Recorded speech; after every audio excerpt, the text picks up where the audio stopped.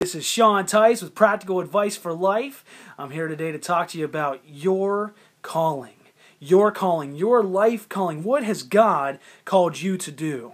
And I want to tell you that if you postpone fulfilling the calling God has on your life, it will be harder later in life to fulfill that calling.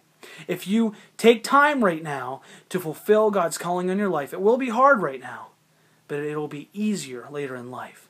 And it's your choice. Which one do you want to do? Do you want to fulfill God's calling now and make it easier later in life, or do you want to wait, postpone things, and make it harder later in life? It's your choice. What is God's calling on your life? The other day I was reading in Genesis 42 and it was talking about Joseph. And we've all, most all of us have heard of the story of Joseph, how he had many struggles, many family issues, things that went on within his family, uh, how they, they sold him into slavery, how he got into a uh, um, in, into prison, he put put into prison, and because of lies, and all these different things happened in his life. And here we are in Genesis 42, and it shows us that he's he's the second in the kingdom, and he's uh, he's a very prominent person now and his brothers were, were supposed to uh, go down and get corn from Egypt. And it says here in Genesis 42 1, when, Now when Jacob saw that there was corn in Egypt, Jacob said unto his sons, Why do ye look one upon another? And Jacob's saying here, Why do ye look one upon another? Jacob's brothers, uh, I'm sorry, Jacob's sons were, were sitting around just thinking about what can we do? You know, we're going to die soon. We don't have any food. And they were just ignoring the fact that they could go do something. They could go to Egypt. They could make things happen. And they were just sitting around talking about it, complaining about it, saying, you know, we're going to die. Our families are going to die. Instead of taking action, instead of fulfilling the calling on their life. The calling on their life at that point in their life was to provide for themselves and to provide for their families, and they weren't doing it.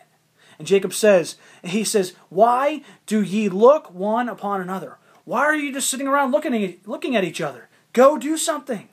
Go do something. And I believe this relates so much with us today. How often do we just sit around and worry, sit around and complain about the way our life is instead of taking action, instead of doing something, instead of getting on our, our knees and praying to God, and saying, God, please help me, instead of going out and making things happen? How often do we just sit around and, and worry, complain? I'm not condemning you, but I'm asking you, do you do that? Are you fulfilling God's calling on your life today? If you're not, make things happen. I understand that sometimes, some circumstances, you know, due to health and things like that, sometimes you have you have to sit around and wait around for things to happen. But many times, we're able to just take action.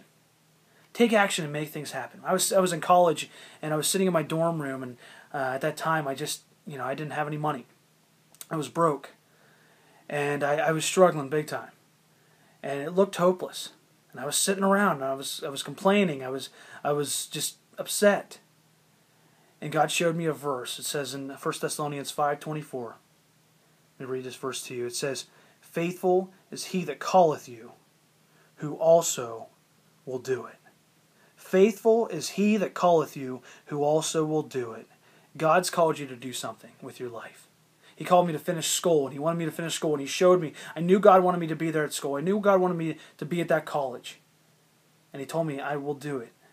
I, I will help you with it. I will guide you in it. God provided then a, a great job for me. I was able to pay for pay for majority of my bills. I was able to take care of myself because that job, God took care of me. And He'll take care of you if you fulfill your calling in His life. He will provide for you. He will guide you. He will help you along your life path if you just trust Him. What is your calling from God? What's your calling right now? If you're if you're a teen, if you're a teen, your calling is to respect your parents. Your calling is to do your best in school. Your calling is to be a witness about Christ and to show Christ to others. Your calling is to serve God. Your calling is to do your best in your workplace if you have a job. Your calling is to honor God with your life if you're a teenager. If you're an adult, if you're a parent, your calling is to do your best at work. Your calling is, is to be a witness for Christ. Your calling is to serve God. Your calling is to love your spouse if you're married. Your calling is to love your children, spend time with your children and your wife if you're married, if you have children. Your calling is to do these things. Your calling is to honor God with your life. Maybe you have been letting fear hold you back. Maybe you're letting fear hold you back. Well, tell, tell fear to shut up. Tell fear to stop it. Don't let fear hold you back. Maybe you've been letting apathy hold you back. Well, start caring. Start doing something. If God's called you to do something, do it.